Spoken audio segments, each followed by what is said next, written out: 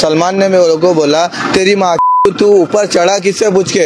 बोलता, पुलिस वाले को, काले साहब को मैं दस हज़ार दे के आया हूँ। तुम लोग की माँ चुनावटी वाले कुछ एक्शन नहीं ले रहे, क्योंकि अन्नू खबरी है। मेरे को पत्थर से और चाकू से मारा गया। अरे, पूरा गिर गया, बेहोश हो गया था। पूरा आठ टाका है ये आग पे है ये पूरा आठ टाका है। बोला अगर तू चौकी में जाके पलट गई तो मैं तेरे को तेरे बच्चे को और तेरे आदमी को तुम लोग को तीनों को हाथ पैर में काटूँगा। आखिर में उसने वही काम किया मेरे आदमी को उसने मारा। दो रिक्शा हम लोग के पीछे आई।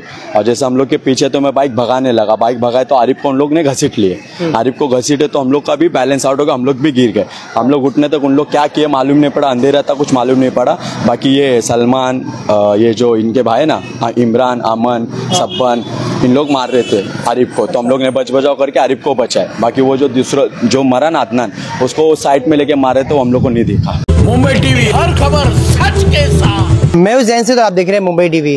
जैसा कि आपको सभी को पता है कि लगातार हम खबरों में दिखाते हैं, कुरला के कसाईवाड़े में किस प्रकार से आपराधिक गतिविधि लगातार बढ़ती जा रही है। नए सीनियर की जब पोस्टिंग हुई थी, तब उस दौरान फायरिंग की घटना सामने आई थी, जिसमें एक की मौत हो गई थी। अब दोबारा एक इस तरीके की घटना सामने आई है, जहाँ पर धारदार हथियार से एक की मौत कर दी गई है और तीन घायल है। इस पूरे प्लानिंग को, मर्डर की प्लानिंग को बहुत अच्छे से कहीं ना कहीं पूरी तरह से प्लान करके बताया गया है और इस प्लान में जो सबसे मास्टरमाइंड बताया जा रहा है, उसका नाम अन्नू बताया जा रहा है। उसने पूरी तरह से अपनी पुरानी रंजिश को, पुरानी रंजिश के लिए, उसने आरिफ को मारने के लिए एक प्लानिंग रची, मगर वो पहली प्लानिंग में नाकाम हुआ, जिसके बाद में उसने दोबारा एक प्लानिंग महज दो घंटे बाद रची और वो आरिफ को धारदार हथियार से हमला किया और आरिफ के एक साथी अदनान पर भी हमला किया। इस पूरी घटना में अदनान की मृत्यु हो चुकी है, इमरान घायल है और आरिफ घायल है। आरिफ का भाई, जिसपे पहली बार हमला हुआ, आसिफ, वो हमारे साथ में मौजूद है और आरिफ की बहन हमारे साथ में आरिफ की वाइफ हमारे साथ में मौजूद है और जिसको अन्नू ने फ़ोन करके कहा था कि आरिफ को बुला ले, वो हमारे साथ में मौजूद है। शुरुआत से हम आपको पूरा विस्तार से बताते हैं किस तरीके से ये प्लानिंग की गई। क्या नाम है तुम्हारा? सोनू। सोनू क्या हुआ था? तुमको फ़ोन कितने बजे आया? आरिफ को बुलाने को किसने बोला? नौ साढ़े नौ बजे मुझे अन्नू का फ़ोन आया कि सोनू आरिफ कहाँ पर है? तो मतलब भाई मेरे को नहीं पता कहाँ है। बोले उसको बोला ना मुझे बात करना है क्या उससे? मतलब भाई तू जान आरिफ जान। आरिफ अभी मेरे कांटेक्ट में है नहीं तू मेरे को मत पूछ। नहीं बोले मेरी अर्जेंट बात करा। तो मैंने आरिफ अन्नू का फ़ोन कट कर दिया। कट करने के बाद ना मैंने उसको फ़ोन किया ना उसका मुझे फ़ोन आया। अच्छा उसके फ़ोन है नहीं का फ़ोन नहीं उसके तुमको कैसे क्या मालूम पड़ा आगे नहीं तो आसिफ को जो मारे थे ना तो आसिफ का पुलिस स्टेशन में एफआईआर चालू था तो वो हम लोग देखने गए थे। तो पुलिस स्टेशन में गए तो वहाँ पे सब चालू था। तो वहाँ पे आरिफ सब कंप्लेंट वगैरह चालू थी तो हम लोग नीचे उतरे। मैं और भाई थे तो आरिफ भी वहाँ था। तो आरिफ बोला कि चलो भाई मैं भी चलता मैं यहाँ नहीं रुक रहा। तो हम लोग जा रहे थे गोंडी। तो आरिफ मैं बाइक चला रहा था। मैं भाई बीच में बैठे थे और आरिफ पीछे बैठा था। हम लोग ये बंटर बोन के इधर से ऐसा टर्न मारे जब तक दो रिक्शा हम लोग के पीछे आई और जैसे हम लोग के पीछे तो मैं बाइक भगाने लगा। बाइक भगाए तो आरिफ को उन लोग ने घसीट लिए। आरिफ को घसीटे तो हम लोग का भी बैलेंस आउट हो गया हम लोग भी गिर गए। हम लोग उठने तक उन लोग क्या किए मालूम नहीं पड़ा अंधेरा था कुछ मालूम नहीं पड़ा। बाकी ये सलमान अ, ये जो इनके भाई है ना इमरान अमन सब्बन इन लोग मार रहे थे आरिफ को। तो हम लोग ने बच बचाव करके आरिफ को बचाए बाकी वो जो दूसरा जो मरा ना अदनान उसको साइड में लेके मारे तो हम लोग को नहीं दिखा। मतलब किस चीज़ से मार रहे थे? तो धारदार हथियार थी क्या मालूम वो साहब खड़ा खड़ा ऐसा मार रहे थे अभी। आपने बताया कि आरिफ को लोग ने पीछे से घसीट लिया। हाँ। तो ये अदनान कब आया बीच में? क्या अदनान झगड़े को छुड़ाने आया था? या अदनान बीच में किस लिए आया था? कैसा ना आरिफ को इन लोग घसीट ले हम लोग जब भी तीन ही थे फिर बाद में हम लोग आरिफ को छुड़ा रहे थे। हम लोग को नहीं मालूम अदनान कब आया। अदनान आया और उसके साथ दो तीन लेडीज़ भी थे शायद। तो अदनान क्या झगड़े को छुड़ाने आया था? आया था वो अदनान छुड़ाने आया था आरिफ ने अदनान को बुलाया था फ़ोन करके? नहीं कुछ नहीं कुछ नहीं। वो अदनान खाली वहाँ पे छुड़ाने आया था उसको मालूम ही नहीं रहेगा शायद। वो जैसा अपन पब्लिक के साथ छुड़ाते वो हिसाब में वो छुड़ाने आया था। अच्छा। वो हाँ वो छुड़ाने आया था फिर उन लोग ने वो दो तीन लोग ने उसको भी साइड में लेके उसको भी मार रहे थे। अच्छा। हाँ वो हम लोग देख नहीं पाए बराबर अंधेरा था। पहली जो पहली पड़ाव तो आपने सुने उसके बाद में जो आरिफ का भाई है आसिफ उसके ऊपर हमला किया गया। आसिफ हमारे साथ में मौजूद है। आसिफ से बात करते हैं। आसिफ, क्या हुआ था? आपके ऊपर पहले हमला हुआ, बाद में आपके भाई के ऊपर हमला हुआ। इस पूरे मामले में आपके भाई को, आपके भांजे को मार दिया गया। पहला हमला इसलिए हुआ, मैं पटरी पे मेरी भाभी का कपड़ा लेने गया बच्चे लोग का। तो सलमान ने मेरे को बोला, तेरी माँ तू ऊपर चढ़ा किससे पूछ के? बोलता, पुलिस वाले को, काले साहब को मैं दस हज़ार दे के आया हूँ, तुम लोग की माँ के लिए। बोलता, काले साहब को मैं पैसा दे के आया हूँ, तुम लोग की मारने के लिए। बोलता "हम निकालो सबको घर में से सबको मारो वीडियो बनाओ। ऐसा सलमान ने बोला। फिर अन्नू ने आया। मुझे तुमको क्यों मारा गया? तुमको कितने बजे मारा गया? साढ़े आठ बजे। तुमको क्यों मारा गया? वही इसका सामान लेने गया मेरी भाभी का। इसलिए दुग्गल साहब ने भेजे थे नेहरू नगर से चूनाभट्टी से। तो वही सामान इसका लेने आया। तो उसके घर में ऊपर चढ़ा उसकी औरत थी। और मेरा मोबाइल भी उसके घर में ही है उसकी औरत के पास। हाँ। तो इस पूरे मामले में क्या तुम्हारी कुछ पुरानी रंजिश वगैरह है या आरिफ की कुछ पुरानी रंजिश है?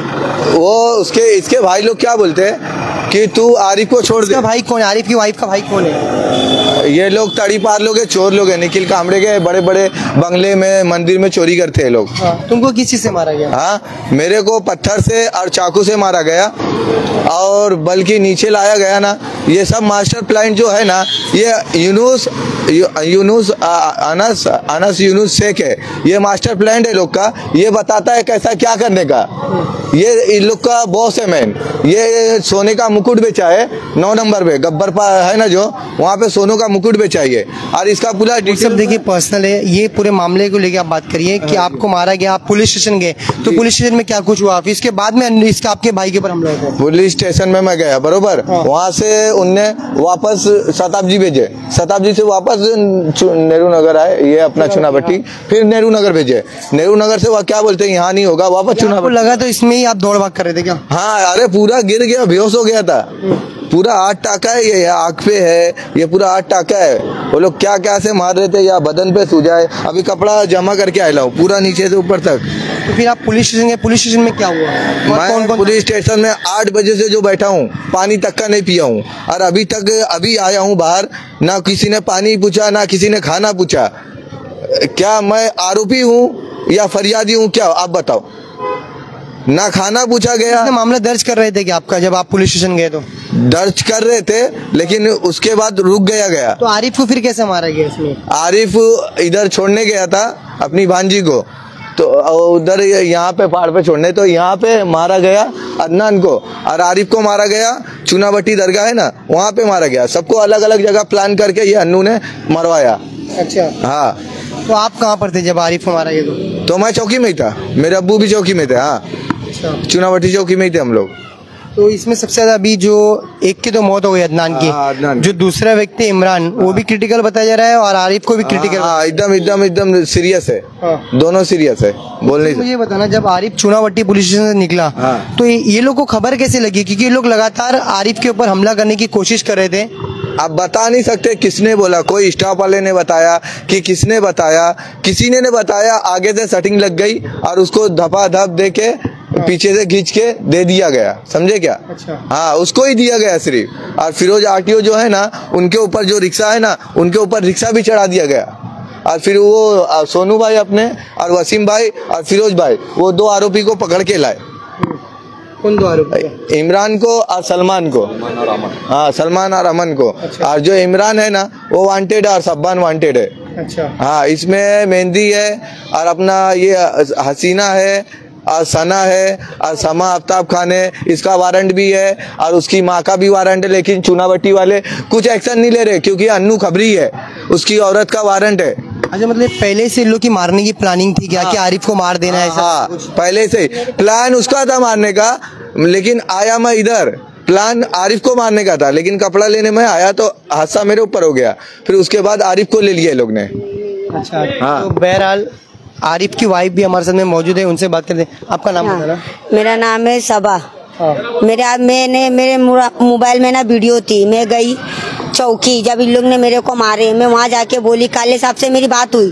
काले साहब को मैं बोली, देखो, मेरे फ़ोन में रिकॉर्डिंग है, इन लोग ने हाथ पैर काटने की बात करे। काले साहब क्या बोलते, दो दिन में मैं बात करता हूँ। ऐसा डायरेक्ट बोले काले साहब ने। बोले, मैं दो दिन में सामने सामने बिठा के बात करता हूँ। उसी दिन रात में इन लोग ने मेरे को मारे, मेरे को सुबह में इन लोग ने चौकी भेजे, रात दो घंटा मेरे नाक में से खून बहा, पूरा खून से लथपथ, पूरे मेरे बदन पे वाल वाल आप लोग चाहते तो मैं वीडियो में फ़ोटो सब दिखा सकती हूँ। इमरान था, अमन था सब्बान था। मेहंदी थी और मेहंदी की अम्मी वो इमरान लोग की अम्मी थी। मतलब वो मेरी भी माँ है मतलब मेरे सगे ने लोग सब सौतेले है हाँ और सब्बान भी था वो इसमें हसीना नाम की लड़की सना थी। इन लोग सब थे। हाँ इतने लोग ने घर के अंदर। मारने की वजह यही थी आरिफ के खिलाफ बोल तू। हम लोग जैसा बोल रहे वैसा कर तू। तू आरिफ की सपोर्ट क्यों कर रही? लोग पहले से प्लान बना के रखे थे आरिफ को मारने की। बोला अगर तू चौकी में जाके पलट गई तो मैं तेरे को तेरे बच्चे को और तेरे आदमी को तुम लोग को तीनों को हाथ पैर में काटूँगा।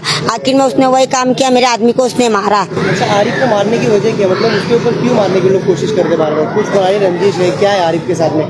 कुछ पुरानी रंजिश नहीं है कुछ नहीं है। ये सब ज़बरदस्ती लोग बोलते आरिफ पीछे से खोटा करता इसके भाई का जब से मेरे जेठ का बड़े वाले जेठ का इंतकाल हुआ जब से अभी तक के मेरे आदमी के ऊपर ना एक केस है ना कुछ है ना किसी से झगड़े करता ना लड़ाई करता उन लोग है ना उसके सीधेपन का ना फ़ायदा उठा रहे थे और कुछ नहीं।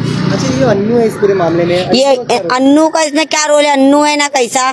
खबरी है वो।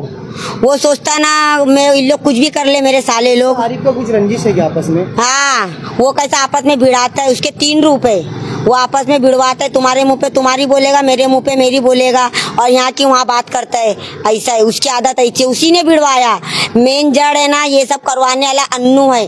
अन्नू ने ही बोला जाके तू डायरेक्ट बिंदास उन लोग को जो करने का वो कर। मेरे आदमी को उसने बटन खिलाया मेरा आदमी कभी बटन नहीं खाता था। उसने उस दिन उसको बटन खिला के ये सब भिड़वाया। तो टिटवाला में भी आरिफ का कुछ मामला दर्ज हुआ था? हाँ वही वही वही तो टिटवाला में नहीं खड़ोली में। खड़ोली में घर में जो घुस के मारा ना ये बटन खिलाया था इसको अन्नू ने अन्नू ने बटन खिला के यहाँ से भेजा। अभी आरिफ की तबीयत कैसी है? अभी आरिफ की तबीयत बहुत कंडीशन खराब है। आईसीयू में उसको रखे ले। ये जो पूरा घटनाक्रम हुआ है हाँ। इसमें एक की मौत हुई है और तीन लोग घायल है अभी भी। जैसे आसिफ घायल है आसिफ की तबीयत तो ठीक है मगर इमरान और आरिफ जो लगातार जिनकी तबीयत बहुत खराब है तो इस पूरे घटनाक्रम का जिम्मेदार किसको मान मैं जिम्मेदार मानूँगी सलमान को अन्नू को, इमरान को सब्बान को, अमन को, ये सब। हाँ। मगर आप पुलिस स्टेशन गए तो पुलिस ने आपका मामला उस टाइम पे दर्ज नहीं किया। अगर मामला दर्ज करे तो इतना बड़ा घटना ही नहीं यहाँ मैं चौकी में ये बात बोली मैं। मैं चौकी में ये बात बोली जिस टाइम पे लोग ने मेरे को मारे मैं आप लोग को बोली मेरी रिकॉर्डिंग सुनो। इन लोग कोई रिकॉर्डिंग सुनने को तैयार नहीं कोई एक बात सुनने को तैयार नहीं। अगर उसी दिन ये सब बात हो गई होती ना तो आज ना किसी की मौत होती ना आज कोई आईसीयू में पड़ा होता था। ये पाँच तारीख की बात है। जो आपके घटना हुई थी वो कितनी तारीख की बात है? उसके बाद में ये जो मर्डर की घटना हुई कितनी तारीख की? ये मेरे को पाँच तारीख की बात है मेरे को लेके गए इन लोग ने पाँच तारीख को मेरे को मारे फिर मैं हॉस्पिटल गई फिर उसके बाद से ना ये कहानी चालू हो गई उल्टी। इन लोग सब मेरे आदमी के पीछे हाथ पैर धो के पड़ गए। ठीक है मैं पलट गई ना हॉस्पिटल में जाके। इन लोग के खिलाफ बोली ना इन लोग वीडियो बना रहे थे मेरे को मार मार के। मेरे बच्चे लोग को भी मारे। आप मेरे घर की भी वीडियो बना के चल के बना सकते हो। मेरे बच्चे लोग की भी बना सकते हो। उन लोग के हाथ पे मुँह पे लगे लाए हाँ। वो लोग कौन है जो आपको आरिफ के खिलाफ गवाही देने लगा रहे कौन लोग मेरे भाई लोग है सगे भाई लोग। सगी माँ सगी बहन सगे भाई। और ये अन्नू लोग को सपोर्ट करता और क्या बोलता? सबा तेको जो करने का वो कर मैं पीछे से आऊँगा नहीं। ऐसा बोलता और बाद में आता उन लोग की सपोर्ट से ही है अच्छा। हाँ। अच्छा इस पूरे मामले में पुलिस का क्या कुछ रोल रहा है? आपको क्या लगता है? ये मेरे को ना ये चौकी का कुछ समझ में नहीं आता। क्योंकि इतनी बार मैं चौकी में गई हूँ ये सब है ना यहाँ तक के मामला पहुँचता ही नहीं है। ये ये जो आज मर गए जो आज इतने सीरियस है ना यहाँ तक के मामला पहुँचता नहीं। अगर उसी टाइम पे पुलिस अगर ये सब की होती थी ना जो अभी कर रही है उस टाइम पे। ढील ढील बढ़ती है हाँ।